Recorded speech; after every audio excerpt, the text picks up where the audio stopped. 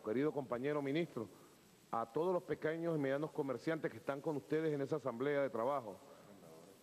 Hay arrendadores también. Hagamos funcionar la economía bajo la ley, bajo las reglas de una economía productiva verdaderamente. Y logremos el milagro de un florecimiento económico que beneficie a toda Venezuela en los meses y años que están por venir. Adelante, Ricardo Molina, infórmale en cadena nacional a toda Venezuela los resultados de ese primer encuentro de trabajo. Sí, presidente. Bueno, efectivamente estamos aquí en el Salón Junín, ya tenemos casi tres horas reunidos con unos 107 compañeros, compañeras que forman parte o bien son propietarios o son inquilinos o administradores de centros comerciales y hemos discutido el contenido del decreto que usted dictó el pasado viernes, eh, el enfoque que cada uno desde su visión tiene respecto a la actividad comercial, a sus experiencias en cuanto a cómo se han venido desarrollando durante estos años y ya hemos comenzado a escuchar propuestas para ir camino hacia la propuesta de ley, una ley que debe ser integradora, una ley que debe ser estimulante al comercio sano, una ley que debe ser incluyente de manera que todos se vean allí reflejados. Uno de los mayores... Eh, llamados, observaciones que han hecho quienes aquí están hoy, tiene que ver con el tema condominial, las formas, cómo se maneja el condominio, también sobre el tema de la determinación del canon de arrendamiento, la la visión de trabajo conjunto, hay la idea, la propuesta de que la ley que estamos construyendo tienda a que los conflictos se puedan resolver con la ley en la mano entre los participantes directamente. Y el gobierno revolucionario, las instancias del gobierno revolucionario que tienen que ver con el tema, intervienen solo cuando hay conflicto o cuando hay desacuerdos. Entre todos hemos estado revisando todos estos temas, diferentes visiones, diferentes propuestas, pero entre todos dispuestos a trabajar en conjunto para garantizar que el comercio que se desarrolla en Venezuela sea cada vez más un comercio sano, un comercio transparente, conveniente, tanto para distribuidores, productores, comerciantes y el pueblo en general, que finalmente es el consumidor de los bienes que se expenden en todos estos, estos centros comerciales.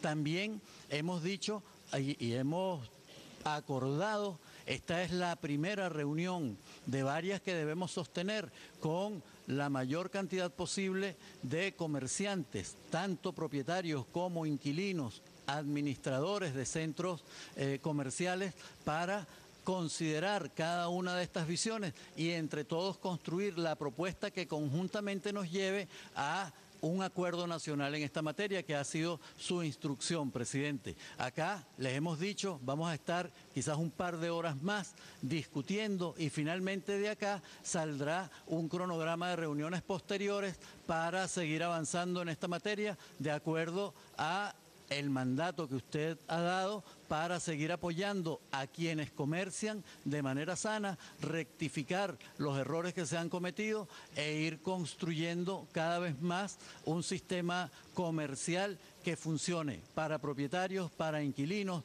para consumidores, para todo el pueblo venezolano, presidente.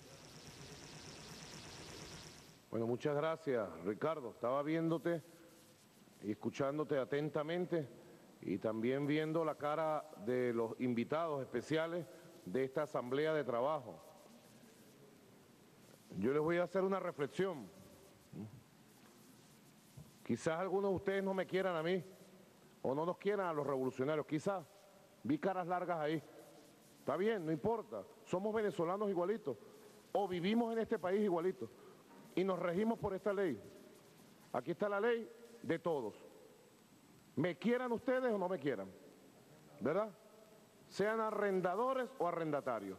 Más allá de los cariños políticos que nos tengamos, hay un país que hay que respetar y unas reglas económicas que hay que desarrollar. Si ustedes aceptan mi ayuda, yo los voy a apoyar. Somos gente de buena voluntad, de buen corazón. Yo no les voy a pedir que se inscriban en el PSUV, ni en ningún partido, ni que voten por mí. No me interesa. Les voy a pedir que respeten a los consumidores. Eso es lo que les voy a pedir. Que respeten a un pueblo, que al final son ustedes mismos, porque son sus vecinos, son sus compañeros, sus amigos, sus familiares. Y que vayamos regularizando en un punto de equilibrio necesario la economía. Las encuestas dicen, estudios de opinión aquí en Venezuela, que inclusive la encuesta de juventud que se hizo, 10.000 encuestas de juventud, un estudio muy serio, que un 60%, 65% de la población venezolana cree en el socialismo como sociedad humana futura y un 29, 30% cree en el capitalismo. Yo le digo a los que creen en el capitalismo, está bien, crean en el capitalismo, lo respetamos, es una sociedad democrática la que tenemos, pero ni siquiera el capitalismo de hoy por hoy en el mundo llamado desarrollado del norte funciona sin reglas de juego. No funciona, ustedes saben, muchos de ustedes conocen el mundo y saben las reglas de juego que hay para vender un producto. Primero para hacerse comerciante.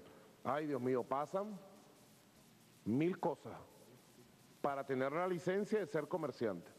Segundo, para mantener la licencia de ser comerciante.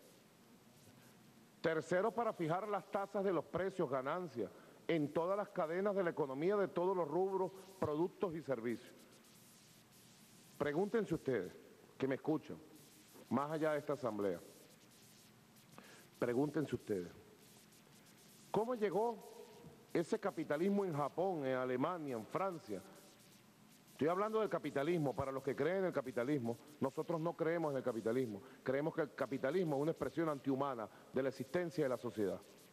Bueno, pero es cuestión de tiempo, pues, que surja una expresión verdaderamente humana. Y creemos que es el socialismo, basado en los principios de Cristo y basado en el proyecto, el ideal de Bolívar y en el ejemplo que nos dejó Chávez. Esa es nuestra visión doctrinaria, filosófica, histórica. ¿Cómo llegó? Hago la pregunta otra vez. Estados Unidos, Alemania, Japón, Francia. Bueno, después de 150 y 200 años de guerras, cayéndose a cuchillos, peleando, la ley antimonopolio, la ley antitrust, la ley de no sé qué cosa y la otra y la hoy, y después de todo el estudio lograron reglas básicas de funcionamiento de la sociedad capitalista. Algunas de esas reglas básicas son violadas aquí en Venezuela. Esto lo digo para quienes creen en el capitalismo, más aún lo que creemos en una sociedad postcapitalista, ¿verdad? Necesitamos entonces mantener equilibrios de todos los elementos componentes de la economía, desde el que produce, desde el que importa, del que distribuye, del vendedor final, del mayorista, del minorista. Y nosotros el Estado cumpliendo nuestro papel, regulando, controlando, apoyando, estimulando. Así que yo de verdad me alegro de que se dé ese escenario de diálogo social. Eso es un diálogo que estamos allí desarrollando. Y llamemos a diálogo a todo el mundo. Nosotros por las buenas somos excelentes. Somos la gente más buena que puede existir sobre el planeta Tierra, por las buenas, entendiéndonos, poniendo la palabra, bueno, como una ley sobre la mesa y la cumplimos. Empresarios pequeños, medianos de este país. Me dirijo a ustedes.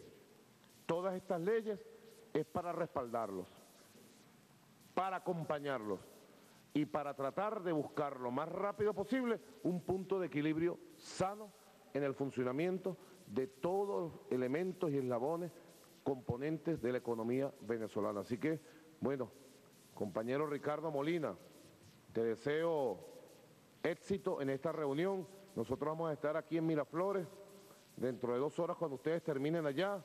Trae todas las visiones, todas las propuestas. Este decreto ya está en fiel cumplimiento en el país. Vamos a hacer la ley, vamos a recoger las opiniones de todos, arrendatarios, arrendadores, expertos en la materia, para en dos semanas, tres semanas, recoger sus opiniones y buscar una ley equilibrada, una ley justa que permita el desarrollo de la economía al mejor ritmo y al mejor nivel. Te esperamos por aquí por Miraflores una vez que termines por allá. Muchas gracias, buenas noches a todos ustedes y vamos a continuar entonces en esta jornada de trabajo.